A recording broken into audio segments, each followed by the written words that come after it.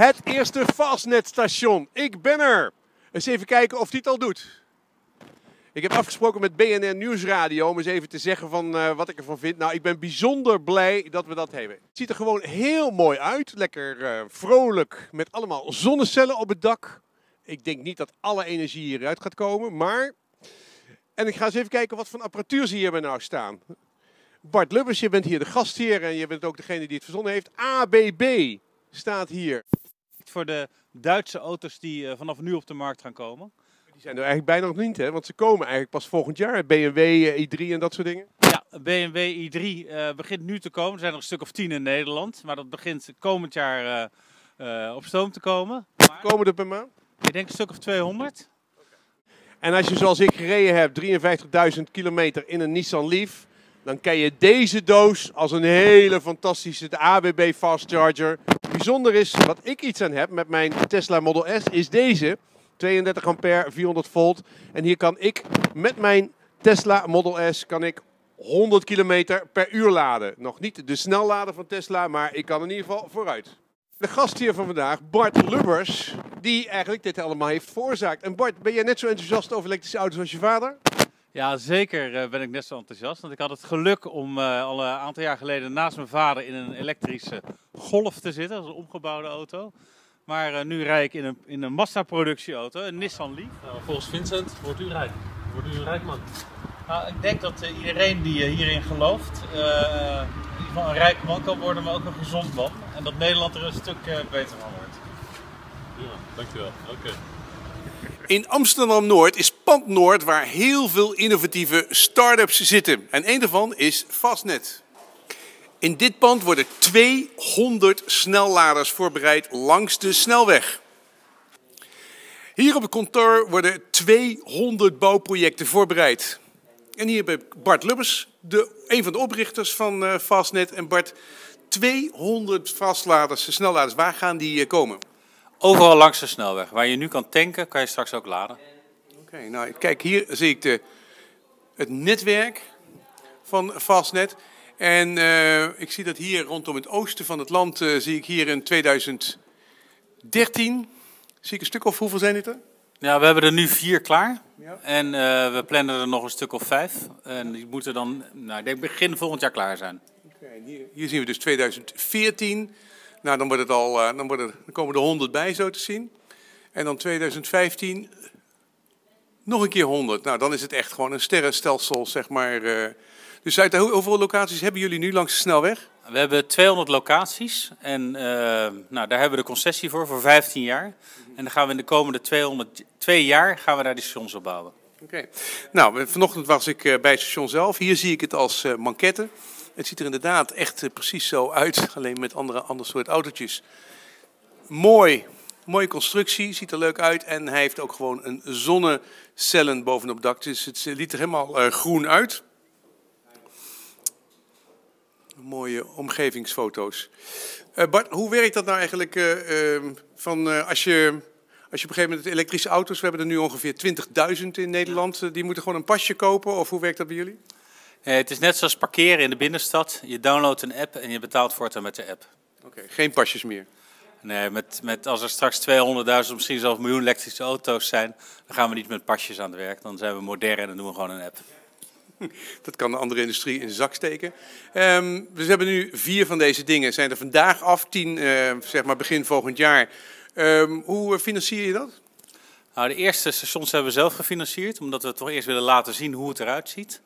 Eh, voor de, de volgende, zeg maar 190 stations, eh, daar zoeken we investeerders voor. En we gaan certificaten uitgeven die iedereen kan kopen. Dus van de particulier tot en met de grote investeerder. Ja, ja. Wat kosten die eh, certificaten? We gaan nu uit van een tientje per stuk. Oké.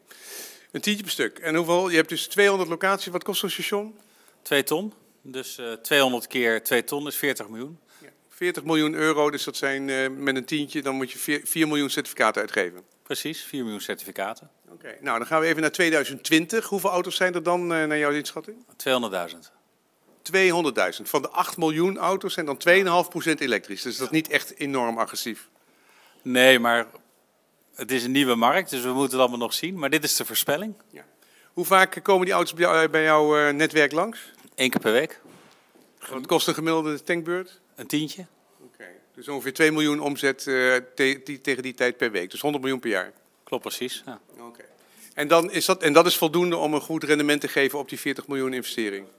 ja, daar gaan we wel vanuit dat we daarmee de investering weer kunnen terugverdienen. Wat zijn de grote knelpunten nog met eh, elektrisch rijden? Wat zie jij nog eh, aan de horizon? Nou, de knelpunten zijn dat je locaties nodig hebt. Die hebben we. Voor de locaties heb je weer vergunningen nodig. Van de overheid, gemeentes en alles. Zes weken ongeveer? Anderhalf jaar, alles bij elkaar. Zes weken, dat is, ja, dat is heel optimistisch. Ja.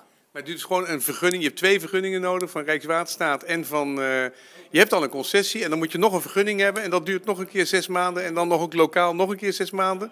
En dan moet je nog die draadjes hebben die, eh, die ze trekken. Daar ben je ook weer een paar maanden mee bezig. Ja, de, de, de netaansluiting is nog een keer 18 weken. Nou, dat hebben we nu met veel sleurwerk hebben we dat teruggebracht naar, naar 16 weken. Maar dat is wat wij rekenen, een, een doorlooptijd van anderhalf jaar.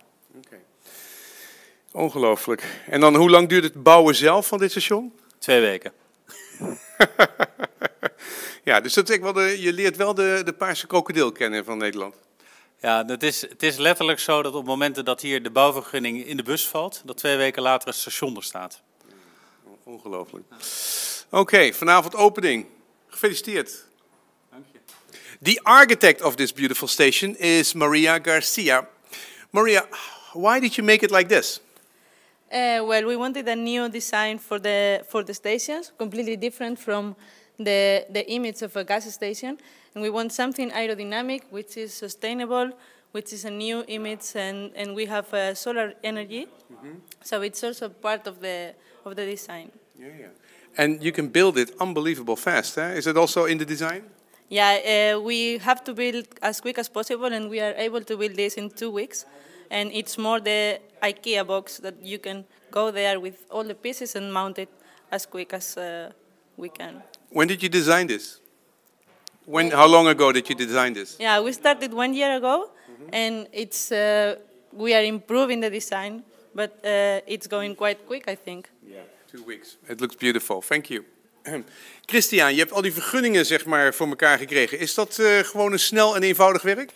Uh, het is per gemeente verschillend, ook al doen we het 200 keer. Elke gemeente uh, kijkt weer op zijn eigen manier naar het hele vergunningstraject. Lijkt me een uitdaging.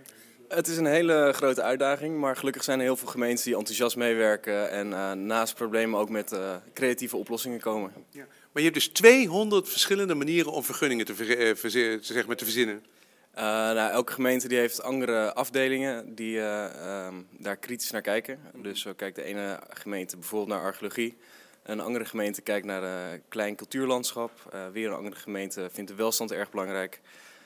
en zo ja, wordt per gemeente over verschillende dingen soms wat langer vergaderd. Oké, dank je. Joost, jij bent bezig met de bouw van al die stations. Um, als je nou kijkt naar elektriciteit bestellen, is dat gewoon bestellen en drie weken later hebben ze die kabel gelegd? Was het maar zo simpel. Uh, nee, het, uh, het, hele proces van uh, aanvraag en offerte, tekenen offerte en uiteindelijk stroomlocatie duurt ongeveer 18 weken. Vier en een halve maand. En hoe lang is het werkelijk het trekken van de kabel en het aansluiten? Eén Ehm, dag. Ze zijn één dag op locatie bezig met het trekken van de, van de kabel.